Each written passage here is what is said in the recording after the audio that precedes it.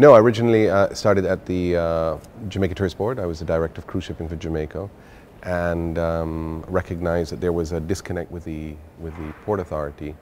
Um, they were not very focused on cruise, and so their facilities and that sort of thing was not very good.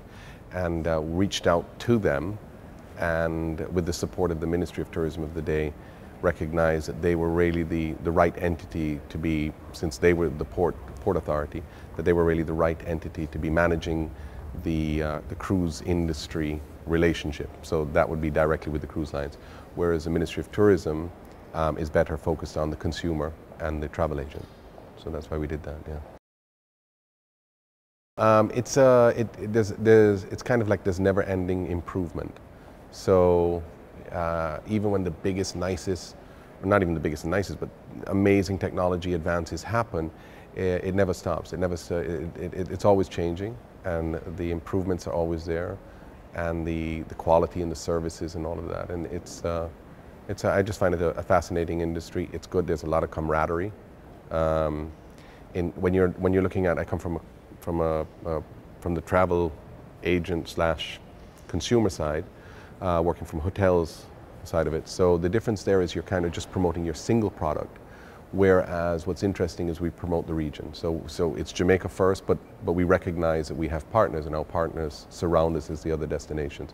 And so that creates that camaraderie that's there, which is really good. I do.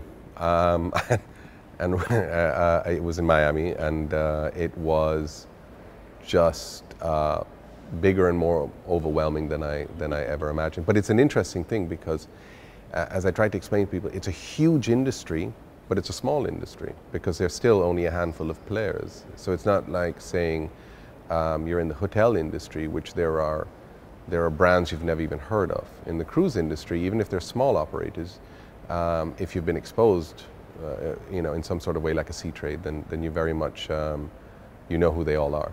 So it makes it makes targeting a bit easier as well. Uh, it was the marketing side. So I, I was uh, working for a big chain of resorts in, in the Caribbean, um, and uh, they, uh, they were an incredibly dynamic company in marketing and so on. And then I moved back to Jamaica. And, uh, and so this kind of presented itself an opportunity. I saw, well, there's, a, there's, a, there's an opportunity here to do marketing much like I did before, but uh, to a different industry. And um, I just found it, uh, it was just a different approach, but I was still trying to take the same sort of um, uh, channel or just uh, trying to do the same sort of focus from that uh, to this industry. And it's, it's kind of worked for us. I mean, we've, we've been able to highlight our strengths, can, which is ultimately what you do in marketing. You highlight the strengths and, and, and disguise your weaknesses, whatever they may be, and, and, um, and learn and, and, and hopefully improve from it. The advice would be to try and uh, understand how itinerary first and foremost, understand if you're going to be doing it from a destination standpoint, uh, understand how itinerary planning works. That it's just uh, there are too many. There's so many. There are a number of elements that have to work for your destination to be there, and uh, recognize that there's also supporting destinations that will work with you, and you should work with them.